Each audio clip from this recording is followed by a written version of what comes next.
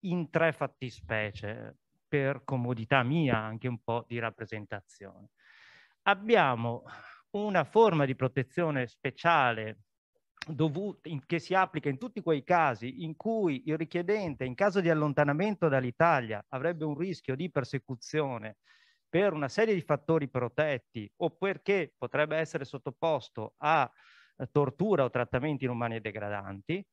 Abbiamo una seconda forma di protezione speciale dovuta a tutti quei casi in cui ancora qua, l'allontanamento potrebbe portare a una violazione di obblighi costituzionali o obblighi internazionali dello Stato italiano e una terza eh, forma di protezione speciale che invece è quella legata alla vita familiare e privata del richiedente. Ora, partiamo dalla prima, che diciamo che è quella originaria, perché noi vediamo comparire questo questo istituto della protezione speciale nell'ottobre del 2018 quando il legislatore italiano, tramite quelli che vengono chiamati decreti sicurezza, spazza via dal nostro ordinamento la protezione umanitaria e la sostituisce, seppur impropriamente, con una serie di istituti, tra cui compare la protezione speciale. Qui eh, capita un, un, c'è, c'è una situazione un cambiamento veramente radicale, perché noi passiamo da una protezione umanitaria che era un istituto aperto con, eh, che racchiudeva al suo interno non un'elencazione delle fattispecie a cui si applicava, ma veniva definita una clausola di salvaguardia del sistema, perché andava a tutelare tutte quelle vulnerabilità che non trovavano una protezione degli istituti della protezione internazionale. Questa clausola aperta che nel corso degli anni aveva sempre più acquisito importanza, eh, nel 2018, quando viene abrogata, le commissioni territoriali avevano riconosciuto 22.000 protezioni umanitarie. Le protezioni umanitarie, solo in, già in fase amministrativa, erano il 23% degli esiti delle domande di asilo. Un quarto delle domande di asilo ottenevano la protezione umanitaria era il 73% degli esiti positivi, quindi è un istituto estremamente importante che viene eliminato e viene sostituito con invece una forma tipica, cioè una forma di protezione che individua espressamente i propri requisiti. E questi requisiti sono che eh, l'istituto si applica in tutti quei casi in cui la persona interessata, se fosse allontanata dal territorio italiano, rischierebbe una persecuzione per una serie di fattori elencati dalla norma, che sono razza, sesso, lingua, cittadinanza, religione, opinioni politiche, condizioni personali o sociali, a cui poi la riforma del 2020 aggiunge anche l'orientamento sessuale e l'identità di genere, oppure il rischio di, in caso di allontanamento, di essere eh, sottoposto nel paese verso cui la persona verrebbe espulsa a tortura o trattamenti inumani e degradanti. Da subito i commentatori rilevano la sostanziale identità tra questi fattori di protezione e quelli della protezione internazionale.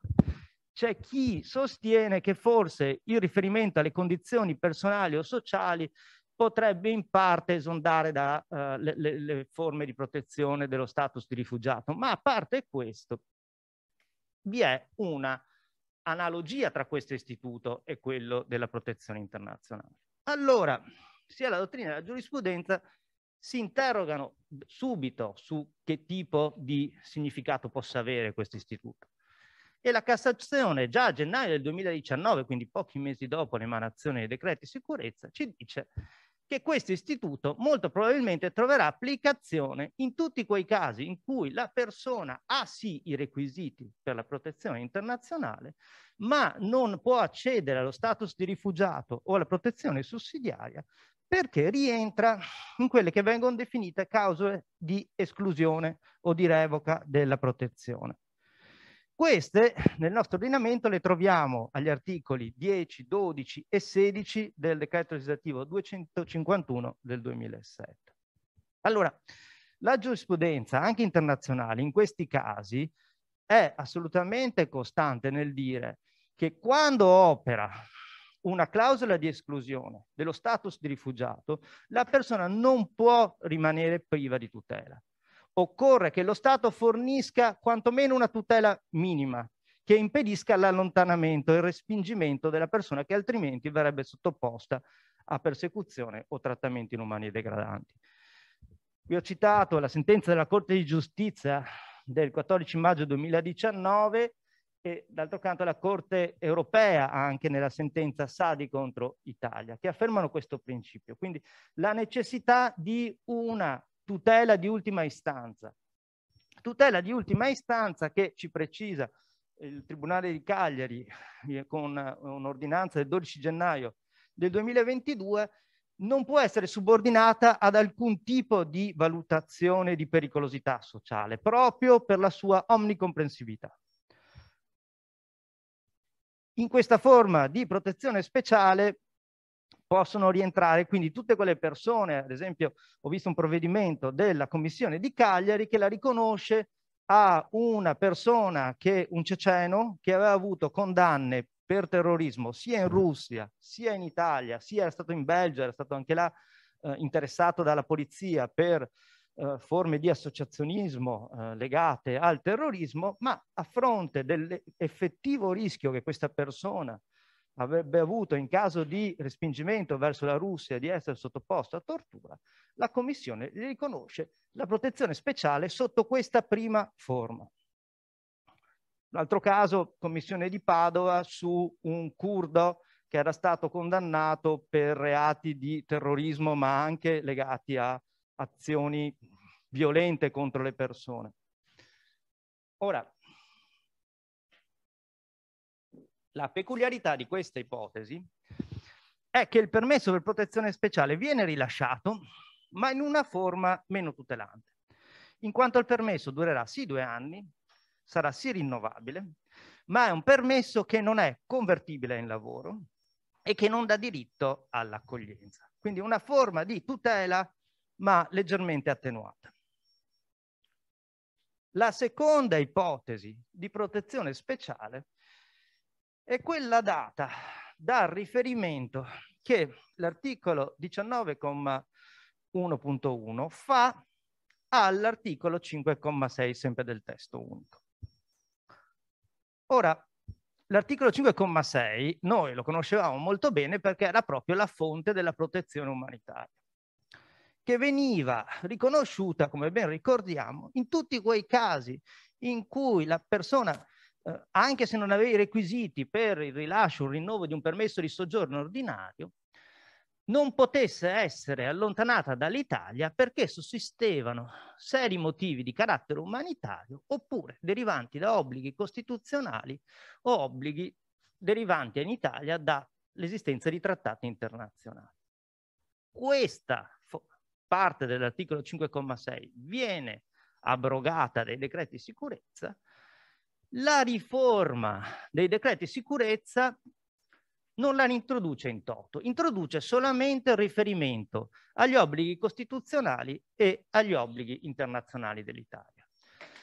Ora, una parte della dottrina ritiene che questa sia una, un riferimento, viene definito meramente esornativo, cioè fondamentalmente inutile, visto che questi obblighi internazionali e costituzionali sono immanenti al nostro ordinamento. Io su questo non sono d'accordo per due ordini di motivi. Uno molto pratico, cioè non è cosa da nulla che la normativa ricolleghi la violazione di questi obblighi a una precisa tutela, perché ci dice, ci inserisce queste violazioni in un percorso di riconoscimento, in un percorso di tutele giurisdizionali che altrimenti sarebbero assolutamente indeterminate. Ma vi è di più.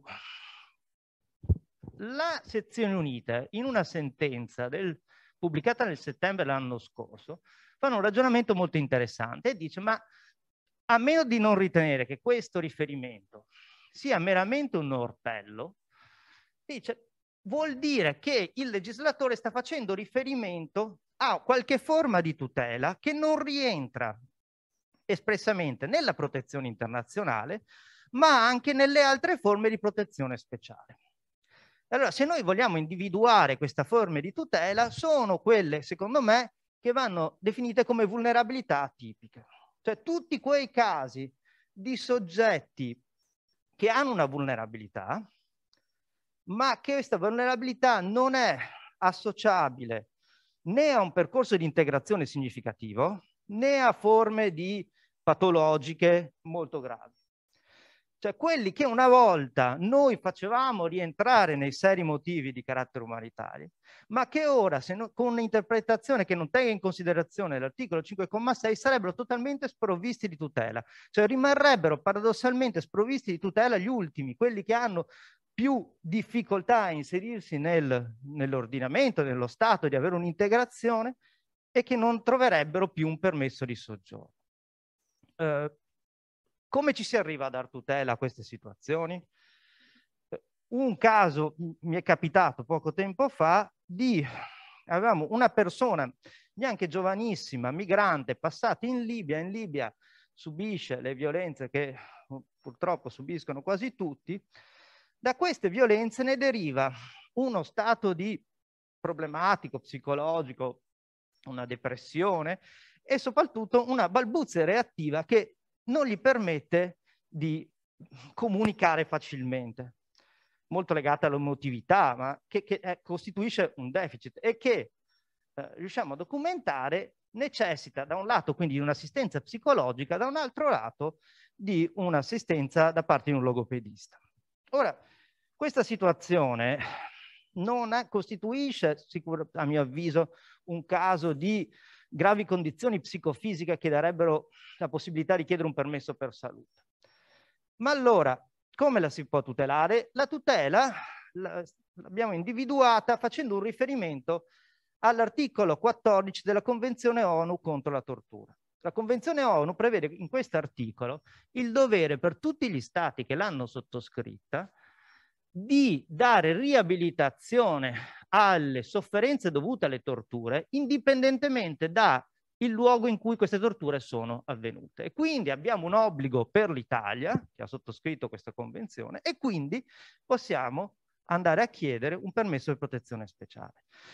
Ora, questo lavoro, sicuramente un po' articolato e complesso, secondo me è uno degli spazi più interessanti che ci pone la protezione speciale. Se cominciamo a declinare questo riferimento alla normativa internazionale, ad esempio per quanto riguarda tutti i trattati sulla parità di genere, tutte le, eh, le, le, le norme che tendono a combattere le situazioni di grave povertà, oppure adesso con la nuova riforma costituzionale sul diritto all'ambiente, noi vediamo che pian piano si delineano delle situazioni su cui potremmo andare a fornire una tutela. Veniamo alla terza forma, che è forse quella un pochino che ha fatto un po' più scalpore nel nostro mondo di giuristi, perché introduce quella che è la tutela alla vita privata e familiare.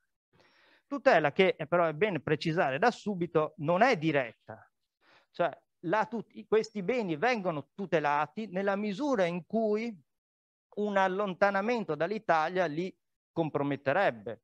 E quindi occorre una doppia dimostrazione, occorre una dimostrazione che esista questa necessità di tutela della vita privata e familiare e che in caso di abbandono della persona dell'Italia questi beni non possano essere debitamente tutelati. La norma prevede anche una causa ostativa che è legata alle ragioni di sicurezza nazionale, ordine e sicurezza pubblica e poi prevenzione della salute, probabilmente inserita perché eravamo in periodo Covid e in qualche modo ci stava. Abbiamo quindi un ritorno a una forma di protezione che non è tipizzata, ma è aperta a tutta una serie di fattispecie e che richiama molto evidentemente quella che è la disciplina dell'articolo 8 della CEDU. La richiama però implicitamente perché a livello normativo non c'è alcun riferimento espresso e poi vediamo quali potrebbero essere le ragioni di questa mancanza di un riferimento espresso. Ma prima di tutto vorrei fare una assolutamente sommaria ricostruzione di quella che è la elaborazione che ha fatto la giurisprudenza CEDU dei diritti previsti dall'articolo 8. Partiamo dalla vita familiare. La vita familiare è stata elaborata dalla giurisprudenza CEDU in una maniera piuttosto restrittiva. E questo non lo dico io, lo dicono numerosi eh, opinioni dissenzienti di giudici che si trovano all'interno di parecchie pronunce della CEDU. Perché questa vita familiare viene in qualche modo limitata a una serie di relazioni. Le relazioni col coniuge o col convivente moruxorio, le relazioni con i genitori e con i figli minori. Qui innanzitutto bisogna fare una precisazione. La tutela è biunivoca, eh, nel senso che non riguarda solo la tutela della vita familiare della persona che chiede il permesso, ma del suo nucleo.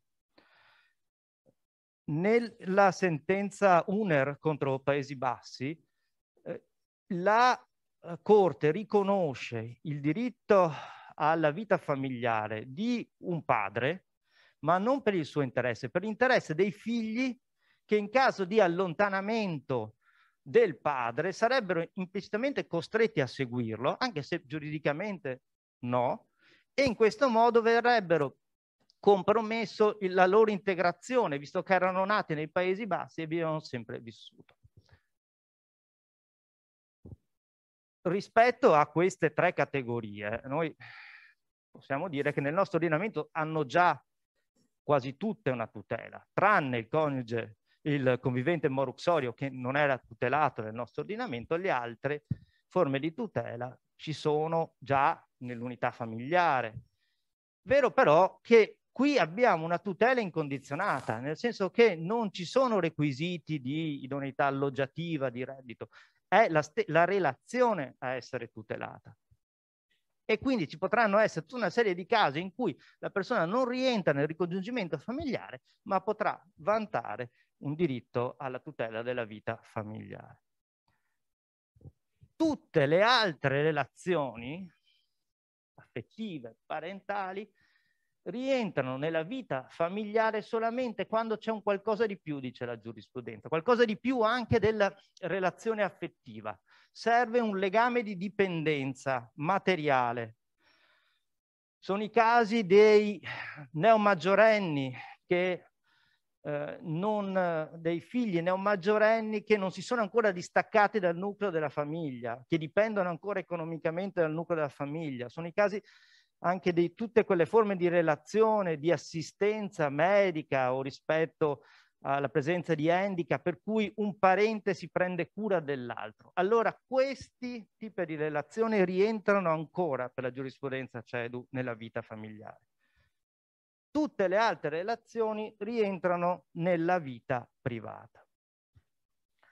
Il concetto di vita privata nella giurisprudenza CEDU ha avuto un'enorme evoluzione, nel senso che originariamente veniva riconosciuto collegato alla vita familiare, invece pian piano se ne distacca, si espande, tanto ad arrivare che la Corte Edu dice è un concetto talmente ampio da non essere suscettibile nemmeno di un'esaustiva definizione. Se vogliamo tracciarne qualche confine, eh, ricomprende da un lato tutte quelle relazioni che non rientrano nella vita familiare, ma dall'altro ricomprende quelle che nella sentenza Naris contro Italia vengono definite tutte le interazioni e relazioni della persona con gli altri individui nella comunità in cui vive.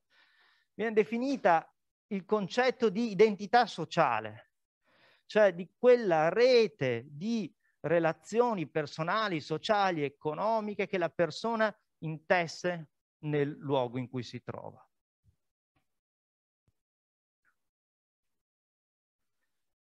Se vogliamo far emergere un po' da, da alcune sentenze qualche principio sulla vita, sulla vita eh, privata,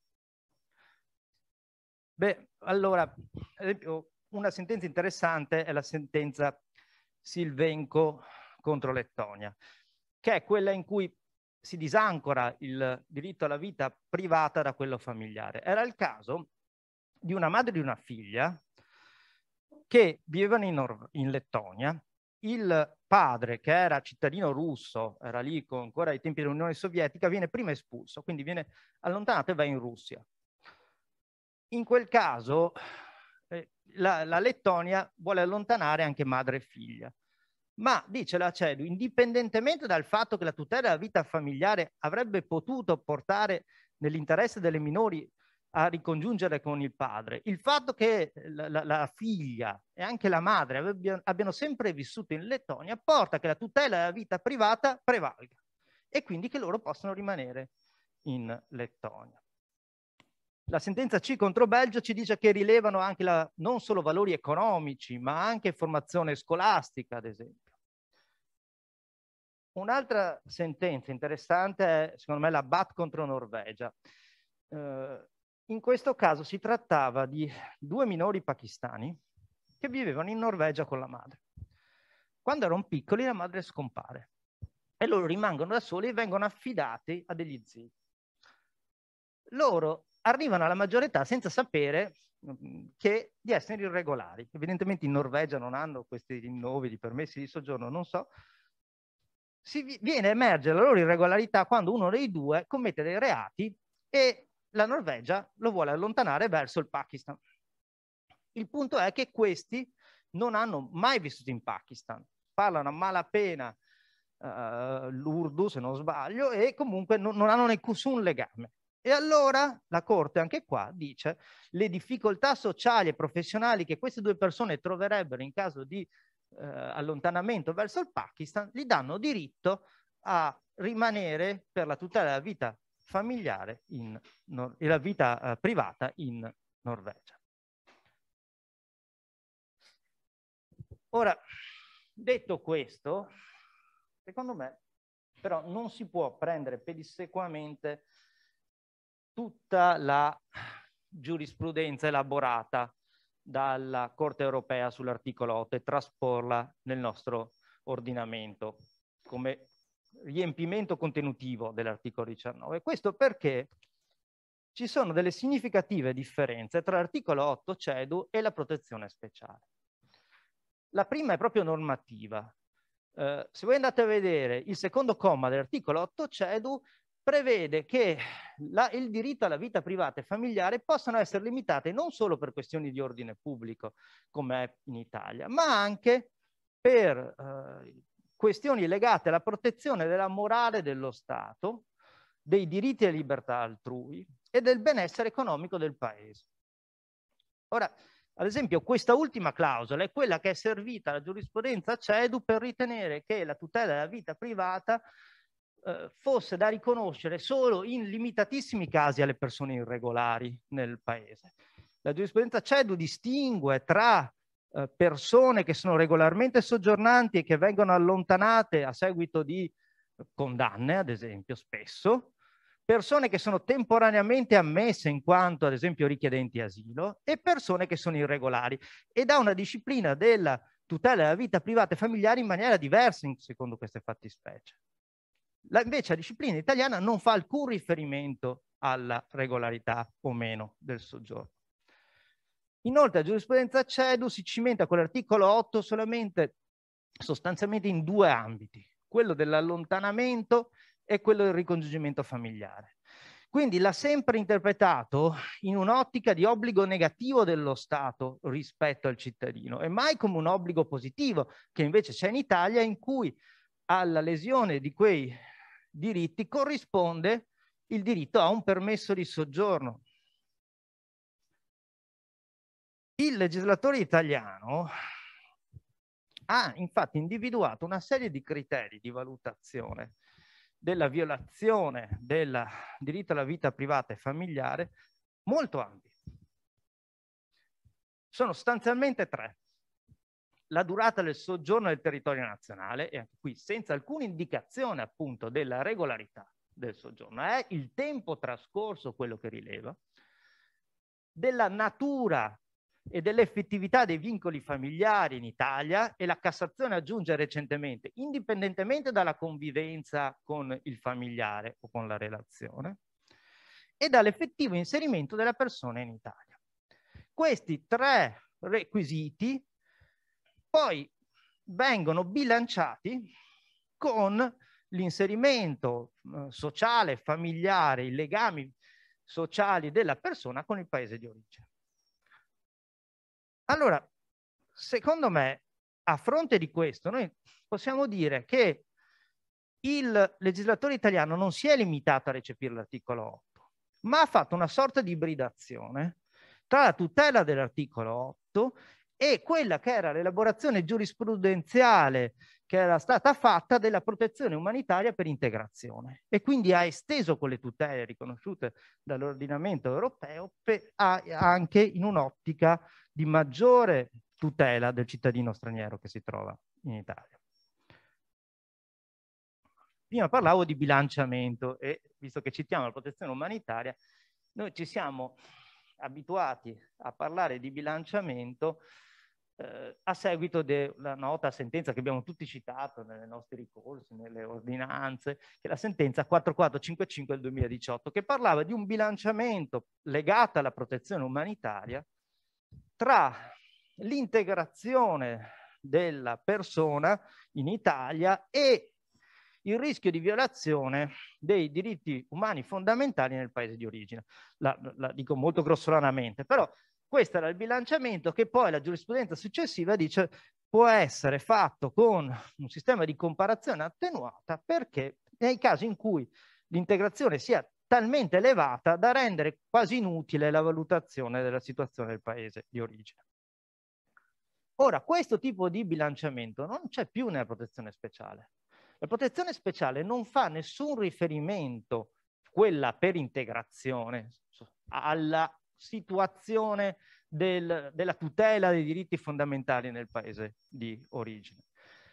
Secondo me a quel bilanciamento se ne sostituisce un altro, che è quello tra l'integrazione sociale in Italia e i legami nel paese di origine. E anche qui potremmo ipotizzare di fare un lavoro di comparazione attenuata, cioè nel momento in cui la persona vive da tantissimo tempo in Italia, ha un'attività economica, ha dei legami sociali e familiari, allora sarà in sé evidente che i legami con il paese di origine si sono affievoliti, se non sono cessati totalmente. Da tutto ciò, secondo me, emerge la valenza veramente rivoluzionaria di questo istituto. Cioè, nella nozione del diritto degli stranieri che siamo stati sempre abituati a, a leggere, c'era questo diritto degli stranieri che in qualche modo eh, permetteva l'ingresso in Italia o tramite un visto, quindi una prevalutazione da parte dello Stato italiano, oppure in rarissimi casi l'unità familiare e la protezione internazionale in cui la persona, anche se non aveva un visto, doveva però dimostrare di avere determinati requisiti preesistenti all'ingresso in Italia. La protezione speciale sposta il fulcro della tutela all'esistenza in Italia. Abbiamo un diritto a formazione progressiva che va a riconoscere un valore al progetto migratorio, al successo del, del percorso che il migrante fa in Italia. In cui rileva una, il concetto di integrazione sociale che non è solo lavorativo. Eh, le sezioni unite ci dicono anche, beh, un, sì, certo, ci può essere, c'è il lavoro, il lavoro rileva, ma può essere benissimo un lavoro a termine. Non si può chiedere al cittadino straniero di dimostrare una capacità di accesso al mercato del lavoro diversa da quella che hanno anche gli italiani ma sono anche tutti quegli altri aspetti della vita sociali, culturali, eh, la partecipazione a attività di volontariato, eh, la, la, la, le attività che svolge la persona nel paese. Perfino, secondo sempre le sezioni unite, fanno riferimento all'esistenza di rapporti contrattuali. Un contratto di locazione è un dato rilevante in questa eh, valutazione di integrità sociale. integrazione sociale. Esiste, come dicevo prima, un elemento ostativo, che è la pericolosità per l'ordine pubblico e la sicurezza pubblica. Una valutazione che in questo caso deve essere particolarmente attenta, con un obbligo di rafforzamento della motivazione del provvedimento. E lo riconosce lo stesso Ministero dell'Interno che nella circolare 19 luglio 2021 copia di fatto quelli che sono definiti criteri Boltif, perché provengono dalla sentenza della CEDU, che è la sentenza Boltif contro Svizzera, e elenca tutta una serie di parametri che vanno valutati per vedere se esiste questa pericolosità. Questi parametri sono la natura e la gravità del reato, fin qua nulla di strano, ma rileva la durata del soggiorno, rileva anche il tempo trascorso da quando è stato commesso il reato e la condotta successiva al reato.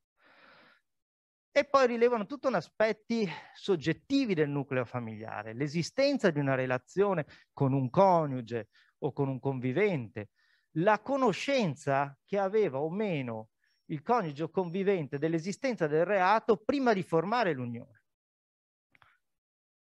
La nazionalità del coniuge o dei figli, in modo da valutare se in caso di allontanamento il nucleo si potrebbe ricongiungere in uno Stato oppure, visto che hanno diverse nazionalità, questo sarebbe impossibile.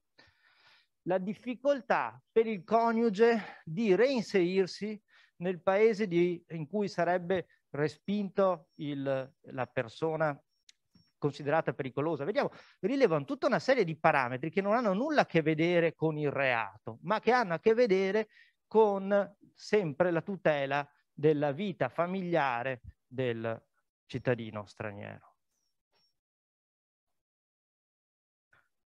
Il permesso di protezione speciale, tranne i casi che abbiamo visto prima di, case, di clausole di esclusione, dura due anni, è rinnovabile, è convertibile e dà diritto all'accoglienza nel sistema SAI come diceva Beatrice prima, si ottiene, si può ottenere secondo due percorsi. Il primo percorso è quello dell'asilo. Quindi si presenta una domanda di asilo, la commissione territoriale, se esclude l'esistenza dei requisiti per la protezione internazionale, può invitare la questura a rilasciare un permesso per protezione speciale. Qui una circolare eh, della Commissione Nazionale Asilo di novembre 2021 ci dice che la domanda di protezione internazionale è ammissibile anche se riguarda esclusivamente la protezione speciale e questo anche in caso di reiterata. Anzi ci dice una reiterata è ammissibile anche se si fonda su elementi attinenti solo alla protezione speciale e già dedotti in una domanda precedente se quella domanda è stata esaminata prima che entrasse in vigore la riforma del 2020.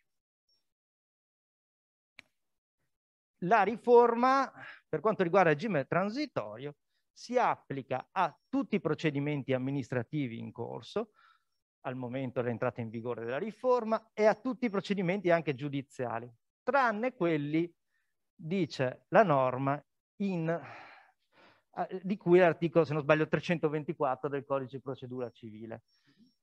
Qui la norma fa riferimento all'annullamento con rinvio.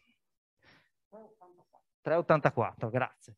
Eh, il punto è questo, io mi chiedo, eh, se benissimo che non si applicano in Cassazione il, la riforma, ma nel giudizio di riassunzione, che senso ha? A, a, a, a, lettura della norma io direi che non si applica neanche la riforma al giudizio di riassunzione, ma che senso ha non applicare un giudizio di merito in cui c'è la normativa è vigente, la protezione speciale vigente, potrebbe essere, come vedremo poi, richiesta al questore, eh, che senso non ha applicare quello status in, quella, in quella fase nuova di riassunzione di merito. Non so il tribunale se... In... Allora, il tribunale in sede di rinvio applica l'umanitaria. Eh sì, eh sì, perché interpreta letteralmente la, mm, interpreta letteralmente la, la, norma. Addirittura in corte d'appello, se si ricorda l'avvocato Davino, si ricorda che al convegno fatto l'anno scorso era venuta fuori il problema che quella norma transitoria non parlava di giudizi d'appello.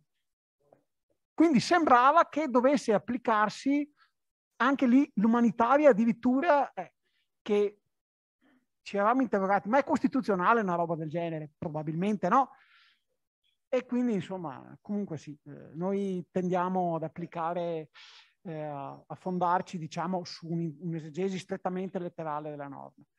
Anche perché riteniamo che non ci sia una reale differenza dal punto di vista applicativo tra speciale e umanitaria, per quanto la speciale sia addirittura c'è addirittura chi dice che sia maglie più larghe addirittura dell'umanitaria e se fosse così si aprirebbero una serie di considerazioni. Ecco. Grazie.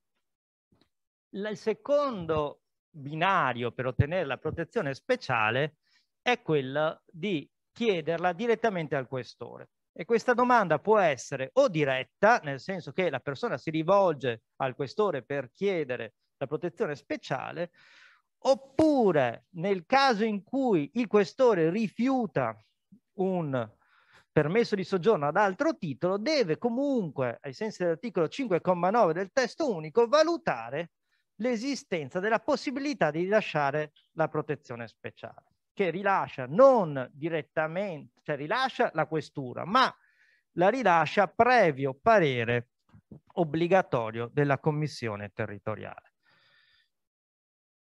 Questa seconda possibilità, quindi della concessione di un permesso per protezione speciale in caso di rigetto di un altro eh, permesso, apre un'altra questione. Cioè, a fronte del diniego, ad esempio, di un permesso per motivi di lavoro, il, la persona potrebbe o impugnare il diniego al TAR per le ragioni attinenti al permesso per motivi di lavoro, ma allo stesso tempo potrebbe aver diritto a impugnare al tribunale ordinario il fatto che non è stata valutata la, la, la protezione speciale. La Cassazione ci dice in una recente sentenza è impugnabile direttamente il provvedimento con cui la persona, la, la, la protezione speciale è stata dichiarata inammissibile indipendentemente dal fatto che sia stata in, eh,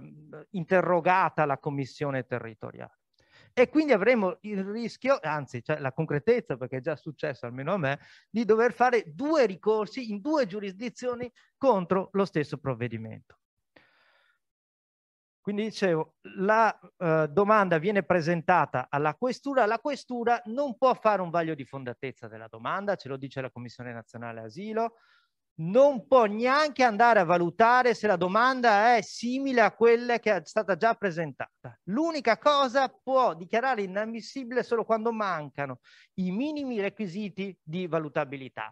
Sostanzialmente la domanda non ha alcuna consistenza eh, la Commissione Nazionale Asilo ha fornito un modulo che qua ho riprodotto, non si leggerà, ma da compilare al momento della presentazione della domanda, io vi segnalo che secondo me questo modulo è assolutamente insufficiente perché dà una fotografia istantanea della situazione del richiedente e non riprende invece quello che è un, un aspetto fondamentale della protezione speciale, cioè la durata del soggiorno e tutto quello che è accaduto in quegli anni. Difatti le domande riguardano l'attualità della situazione lavorativa, l'attualità della situazione abitativa e non i trascorsi. E quindi ben potrebbe essere una persona che fa un lavoro stagionale, si trova momentaneamente eh, in stato di disoccupazione dovrebbe scrivere non ho un lavoro, invece magari lavora ogni anno costantemente dallo stesso datore di lavoro per un determinato numero di mesi e quindi ha un'integrazione lavorativa,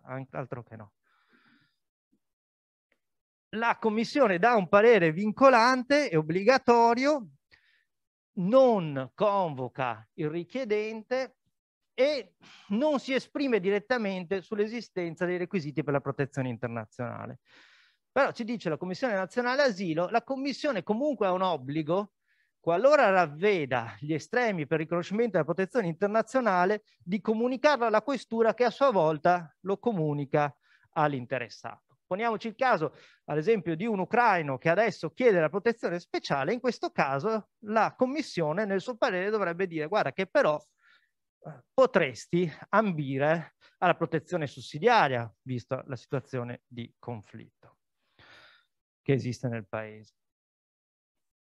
Un'altra questione, secondo me, molto interessante è quella che pone la Commissione nazionale asilo in una comunicazione del 7 dicembre 2021 e dice la protezione speciale può essere chiesta al questore anche quando pende.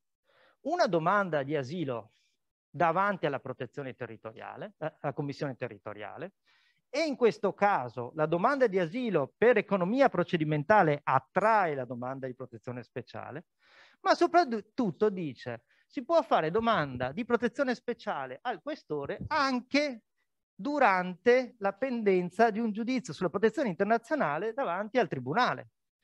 E fa un ragionamento molto pragmatico. Dice, beh, fondamentalmente, vista la durata dei giudizi, potrebbe essere che la persona a un certo momento ha i requisiti per chiedere la protezione speciale, ma questi requisiti potrebbe perderli in qualche modo nel corso del giudizio e quindi dobbiamo dargli la possibilità di chiederlo questa protezione speciale anche se pende un giudizio sulla protezione internazionale.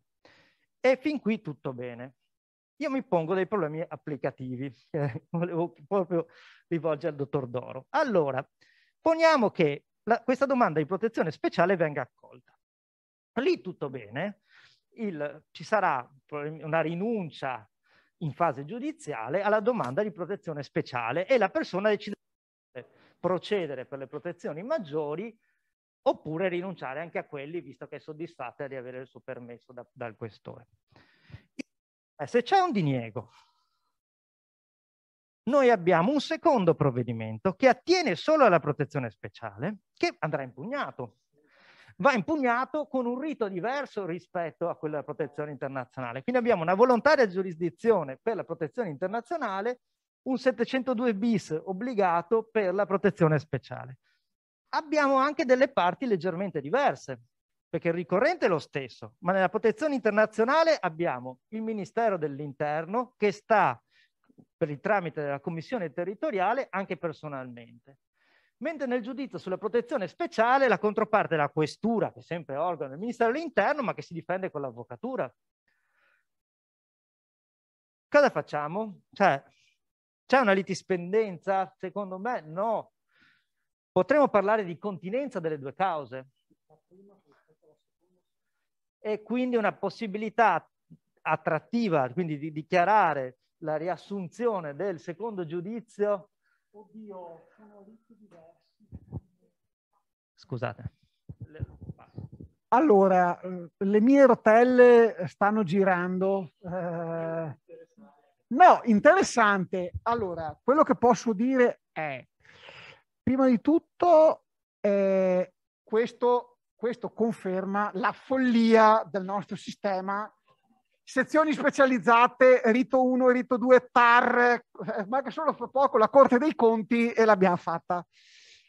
Chiusa parentesi. Eh, probabilmente la soluzione è un rapporto di continenza, nel senso che il primo giudizio ha ad oggetto protezione internazionale e anche domanda di eh, protezione speciale, mentre il secondo solo protezione speciale. Mi chiedo, nel rigettare la seconda, non è che la questura barra commissione facciano una nuova valutazione anche dell'insussistenza di presupposti per dare la protezione internazionale? No, valutano solo la protezione speciale. Allora c'è una continenza, probabilmente sì, di tipo, mi verrebbe da dire, quanti-qualitativo, nel senso che eh, sì, una domanda raggruppa l'altra. Non lo so se sia possibile trattarle congiuntamente nella riunione di giudizi, perché sono giudizi diversi, con due riti speciali e probabilmente allora, o si dovrebbero riunire, ma poi bisognerebbe capire quale rito sia, sia prevalente. Probabilmente quello della protezione internazionale, sì, sarei d'accordo. Sono tutti e due, fortunatamente, almeno lì, riti collegiali. Tutti e due si concludono con un provvedimento un decreto, sì, ma la sostanza è un provvedimento decisorio, entrambi impugnabili per Cassazione. Le parti, eh, in realtà, lì è sempre il Ministero dell'Interno, sia pure con una articolazione diversa. Quindi sì, è una bella sfida. Lo fa tramite l'avvocatura lo fa tramite l'avvocatura, mentre nel, nel, primo caso, personalmente, eh no, è una bella gatta da pelare. Eh, potrebbe capitare, eh, dopo vi dico qual è un altro problema processuale, ma forse ci arriva l'avvocato Mason prima di me. Vediamo. Allora, veniamo a una serie di questioni eh, sollevate dalle prassi della, eh, delle questure. Innanzitutto tutta una serie di requisiti per l'ammissibilità della domanda di protezione speciale che non esistono nell'ordinamento. Ad esempio la richiesta di un passaporto per chiedere la protezione speciale. Passaporto che non è neanche necessario per ottenerla, per il rilascio, perché poi la giurisprudenza su questo ormai è consolidata nel dire che anche per la vecchia umanitaria e adesso per la protezione speciale è possibile chiedere il titolo di viaggio. Io vi ho citato una bellissima sentenza del TAR Campania del 2021, la 1069, che dice il titolo di viaggio è comunque rilasciabile. In quel caso era una persona che chiedeva un permesso per lavoro in conversione dell'umanitaria. È comunque rilasciabile il titolo di viaggio quando la persona si trova davanti a un'impossibilità di fatto di ottenere il passaporto, quindi non un'impossibilità giuridica. Anche l'ospitalità di per sé non è necessaria. Qui abbiamo tutta la giurisprudenza sulla richiesta di asilo che è chiarissima. Ma un problema piuttosto rilevante che ci si porrà in futuro è quella della convertibilità del permesso per protezione speciale rilasciato dal questore. Perché una sfortunata, secondo me, circolare del novembre 2021 dice che sarebbe convertibile in lavoro solamente il permesso di protezione speciale rilasciato dalla Commissione. E questo perché? Perché dice l'articolo 6 del testo unico, nel momento in cui rende convertibile la protezione speciale, fa riferimento esclusivamente all'articolo 32,3 del decreto legislativo 25 del 2008. Peccato che quell'articolo 32 poi fa riferimento per i requisiti sempre all'articolo 19 della protezione speciale. Quindi abbieremo uno stesso permesso, e qui questo sarebbe un problema sulla continenza, uno stesso permesso che se rilasciato da un'autorità su, sugli stessi requisiti è convertibile, se no da un'altra non è convertibile. È una palese disparità. Anche perché a voler fare un po' i polemici, come ci piace, la stesso riferimento all'articolo 32 lo troviamo al 19 ter del decreto legislativo 150 del 2011, che è quello che disciplina il rito da applicare all'impugnazione della protezione speciale e che ci dice che il rito eh, quello previsto, il 702 bis obbligatorio, va applicato in tutti i casi in cui venga negata la protezione speciale di cui è l'articolo di nuovo 32,3 del decreto legislativo 25 del 2008. E allora se noi applichiamo la stessa interpretazione che fa il Ministero sulla convertibilità, ne dovremo derivare che la protezione speciale rilasciata dal questore è sprovvista di un rito tipico. Ecco, ci è arrivato. no, allora, correttissimo, co- co- non corretto, correttissimo, quindi superlativo assoluto del superlativo assoluto. Corretto quello che ha detto l'avvocato Mason, vi posso dire, abbiamo avuto già qualche caso di diniego diretto da parte della questura, riteniamo analogicamente applicabile l'articolo 19 ter pacificamente e vi dico pacificamente solo che ci provino a inventarsi a dire che il permesso di soggiorno per motivi di protezione speciale rilasciato dal questore non è convertibile, che ci provino perché se... No, perché è una, è una follia. Perché no? Allora no, vanno dette le cose come stanno. Se il legislatore, se il legislatore non sa scrivere le norme che abbiamo a Roma sono degli analfabeti, sono degli analfabeti, se loro non sanno scrivere le norme, non è colpa nostra e non è neanche colpa dei richiedenti asilo.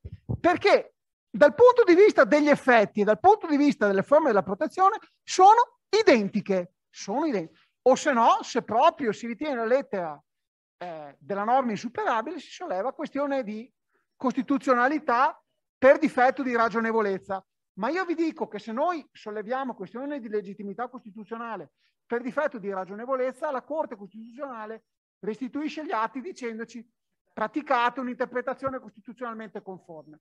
Non c'è alcuna differenza. Quell'inciso, quell'inciso nei casi di cui l'articolo potrebbe anche mancare. Quell'inciso potrebbe anche mancare. Secondo me non ha senso, non ha senso. Ma come non aveva senso la circolare, come non aveva senso la circolare che diceva, è l'iniziale circolare, che, che diceva non si può presentare la domanda di protezione speciale direttamente alla questura. E allora io per costruire un capannone devo, fa, devo, fa, devo presentare al comune un'istanza per costruire un grattacielo e farmi dire di no. Cioè, eh, vi ricorderete sempre il solito paragone che facevo l'anno, scorso. E allora, non, cioè, secondo me, eh, giustissimo quello che ha detto lei, è superabile quella... Non mi farei neanche, neanche molti problemi credo che qualsiasi giudice riterrebbe formalistica. Eh, allora, lì, lì è sempre il solito problema della moltiplicazione delle giurisdizioni. Non è pensabile che la stessa materia immigrazione si debba andare da una parte e dall'altra. Ci deve essere un giudice unico dell'immigrazione. È materia di giurisdizione esclusiva che la faccia il TAR è, ma- è un'altra materia che la faccia il giudice di ma uno dei due che faccia tutto. Non è pensabile che noi nel ventunesimo secolo siamo l'unico paese in Europa ad avere interesse legittimo e diritto soggettivo. Cioè, insomma, ecco, eh, anche lì ne parlavo con l'avvocato Barbariol tempo fa, si ricorda, dicevo, eh, sta cosa della pluralità delle giurisdizioni, un colpo al giudice di pace, un colpo al tribunale, un colpo al TAR, adesso dicevo prima, manca solo la Corte di Codice, l'abbiamo fatta tutta. Facciamo una, cioè, una unicità di giurisdizione, almeno semplifichiamo, un'unicità di rito, come hanno fatto il Tribunale della Famiglia, che si faccia il Tribunale dell'immigrazione, anche perché non vedo perché Controversie in materia di espulsione devono essere decise, faccio un esempio, dal giudice di pace, che è un giudice onorario, mentre l'allontanamento di un cittadino comunitario dovrebbe essere da un giudice togato. Poi di fatto a Venezia c'è la delega ai GOT, che comunque fanno il loro dovere più che il loro dovere, va detto. Eh, eh, cioè, sono storture del sistema che andrebbero un attimo risolte. Mm, comunque, vabbè la lascio proseguire, scusate la mia invettiva. Grazie, condivido pienamente anche la necessità di una riforma organica di, che eviti anche questa pluralità e, e duplicazione di, eh, di contenziosi. Quindi per la protezione speciale negata dal questore il rito è quello sommario di cognizione, l'impugnazione va proposta entro 30 giorni dalla comunicazione del diniego, la competenza è della sezione specializzata che giudica in composizione collegiale del luogo in cui ha sede eh, l'autorità che ha la, la questura che ha emanato il diniego. Va presentata un'istanza di sospensiva perché in questo caso non c'è la sospensione ex legge. Qui c'è un altro problema pratico che io mi sono trovato ad affrontare, nel senso che la questura di Venezia dice io avevo fatto ricorso su una, un diniego di protezione speciale, ottengo la sospensiva, la questura di Venezia dice, bene, io sospendo il diniego, ma non do al cittadino straniero nessuna attestazione della regolarità del soggiorno. E questo, secondo me, è sbagliato. Poi sono, non solo la questione di Venezia, per sé, perfetto. Secondo me la sospensione determina la cessazione degli effetti del diniego e quindi il ritorno alla condizione giuridica precedente al diniego. In quella condizione giuridica la persona aveva una ricevuta in mano della domanda di protezione speciale con cui non faceva molto, ma quantomeno poteva girare liberamente per l'Italia senza rischiare che qualsiasi poliziotto lo potesse eh, fargli un'espulsione. Per cui cosa si può fare in questo caso?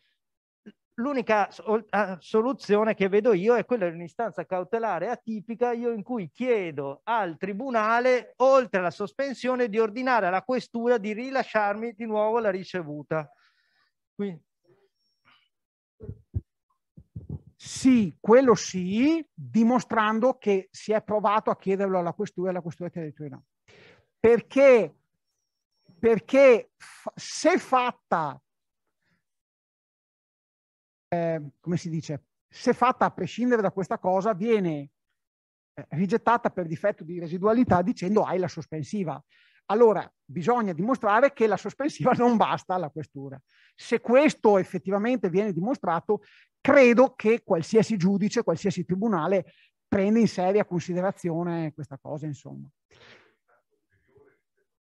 Probabilmente sì, probabilmente sì, perché se no il rischio che se, se fatta subito così il rischio, e noi lo facciamo eh, come tribunale, lo diciamo, e eh no, tu hai lo strumento tipico che è la sospensione e una volta sospeso torni nella stessa condizione originaria e torni nella tua regolarità. Tanto che, tipico esempio, ragazzo richiedente asilo che lavora, il lavoro è uno dei tipici motivi per cui noi sospendiamo il diniego di protezione speciale sospendiamo il diniego di protezione speciale, questo lo rimette in grado di ottenere un permesso di soggiorno provvisorio e anche di lavorare, di proseguire il suo percorso di integrazione. Cioè è una cosa conseguenziale. Purtroppo posso capire che la prassi delle questure sia un po' rigidina sul punto, eh, però insomma, ecco, credo che se viene fatta un'istanza tipica motivata sul fatto, guardate, abbiamo ottenuto la sospensione, ma la questura non rilascia il provvedimento e questo è il diniego, sì.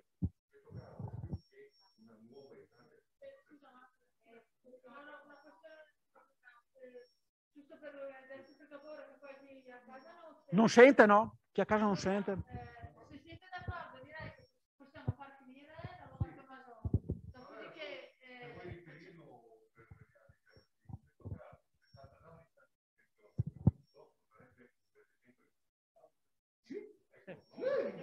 Sì.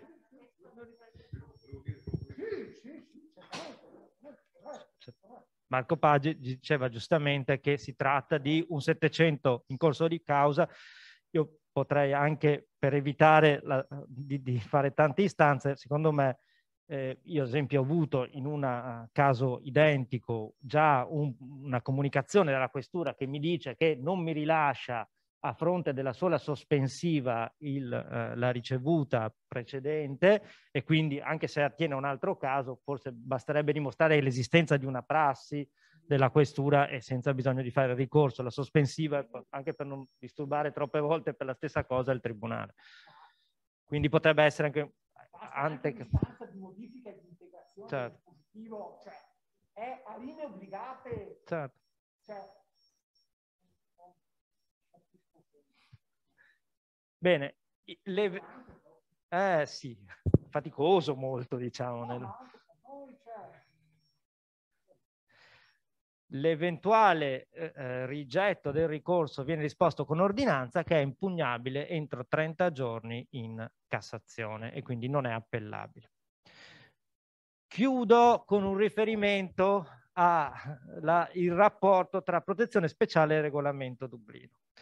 Questo perché una circolare del, della vigilia di Natale dell'anno scorso, di, della, sempre della Commissione del Ministero dell'Interno, dichiara che sarebbe inammissibile la domanda di protezione speciale al questore della persona che sia in attesa della decisione dell'unità Dublino oppure sia in attesa della decisione del, ricon- del ricorso giudiziale contro una decisione di trasferimento. E la ragione, secondo eh, la, il Ministero, starebbe nell'articolo 19 del regolamento Dublino che prevede la competenza italiana nel momento in cui, eh, la competenza dello Stato, nel momento in cui lo Stato rilascia un permesso ad altro titolo. Ora, però, se noi facessimo un'interpretazione del genere, questo significa che lo stato in cui si trova la persona che abbia chiesto asilo e che sia in attesa della definizione di un procedimento sul suo trasferimento non potrebbe chiedere nessun, nessun tipo di permesso, né per cure medico, eh, pensiamo alla gravidanza, non, vorrebbe dire che o ha il permesso per attesa a Dublino o niente. E questo non è né previsto dalla questa incompatibilità non è né prevista la normativa specifica sulla protezione speciale né dal regolamento Dublino, perché se noi andiamo a vedere il regolamento Dublino, il regolamento Dublino fa riferimento esclusivamente alla domanda di protezione internazionale. E, esatto, e fa un riferimento all'articolo 2, per, come domanda di protezione internazionale, fa riferimento all'articolo 2 del regolamento qualifiche il quale espressamente esclude dalla domanda di protezione internazionale ai sensi del diritto eurounitario tutte quelle domande che sono accessorio, che riguardano protezioni interne. Allo stesso modo, il considerato 15 del regolamento qualifiche dice non rientrano nel regolamento qualifiche tutti quei permessi per motivi caritatevoli umanitari riconosciute su base discrezionale dagli Stati membri. Quindi parliamo di due procedimenti autonomi, quello di protezione internazionale e quello di protezione speciale, di due tutele autonome e quindi secondo me non è assolutamente legittima una inammissibilità della domanda di protezione speciale quando pende una domanda di protezione internazionale sospesa per la questione della competenza dello Stato italiano o meno. Detto questo, si può impugnare l'inammissibilità, l'alternativa è un po' artigianale, ma è quella di o non presentare la domanda di protezione internazionale per chi ha il rischio di trasferimento e chiedere solo la protezione speciale, che come abbiamo visto non rientra nel regolamento Dublino e quindi non può, può portare a un suo trasferimento, oppure rinunciare alla domanda di protezione internazionale, presentare allo stesso momento una domanda di protezione speciale e quindi eh, permettere alla persona di, di bypassare la questione del regolamento Dublino. Detto questo, io ho finito, vi girerò le slide, ho fatto anche una piccola bibliografia da cui ho tratto tutto il materiale che, eh, riguarda, che vi ho esposto in questa relazione, in cui trovate anche molto di più, e vi ringrazio molto per l'attenzione.